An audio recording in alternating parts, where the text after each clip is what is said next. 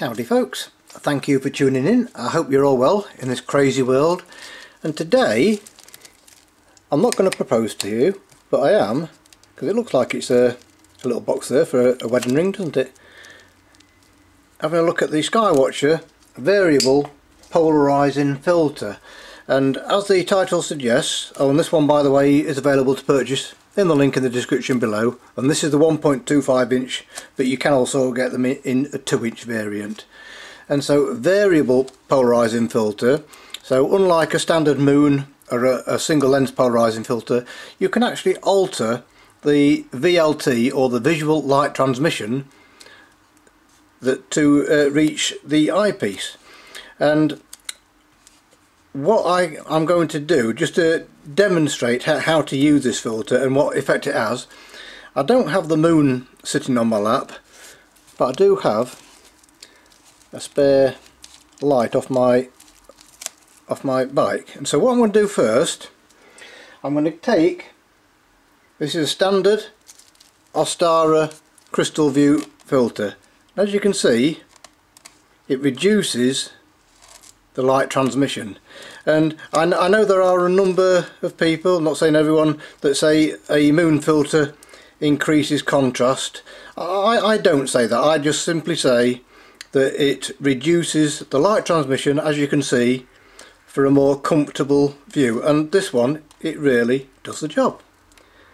Uh, if, if you find that a moon filter does increase the contrast um, with your findings please let us know about it in the description.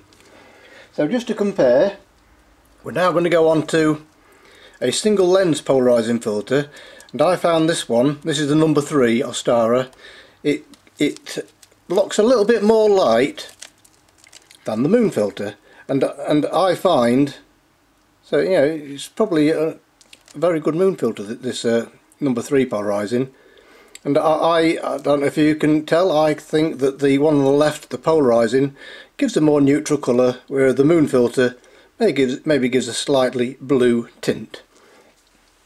And then we're going to go on to a ND filter, or natural density filter. This is the SVBONY number 3. Now as you can see, that cuts out a lot of light. I'm guessing you use this with very, very large telescopes. And uh, it looks like it's cutting out a lot of light there but do not by all means be tempted to look at the sun with this filter. It's not a solar filter. So then we shall come on to the Skywatcher variable polarizing filter. And there we are. It's very similar.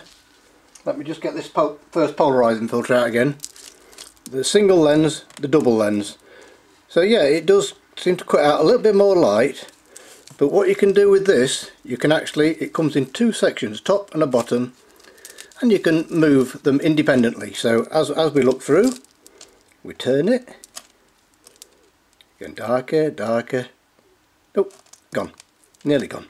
But again don't be tempted to look at the sun with this filter because you know you will allow too much light through.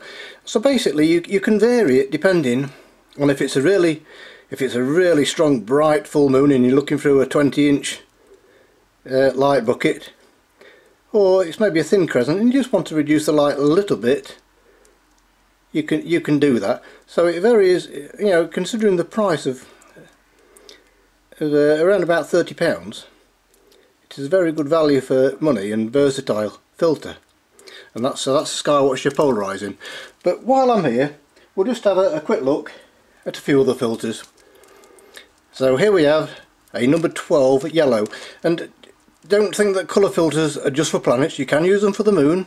Yes you do get obviously a false colour but just like a moon filter it reduces the light for a more comfortable view. And then we move on to the 21 orange. That looks cool doesn't it? Very nice effect. You see you still pick, you know, the, the detail there that with any of these that, that's that's lost in the glare you're now picking them out with these. So you can use these on the moon just as easily. And then finally I can find it. My favourite Mars filter. Why I, I, like using this one on Mars? Because I, I find that it helps the polar ice caps stand out more from the from the disk of Mars itself. But it's the same with any colour filter.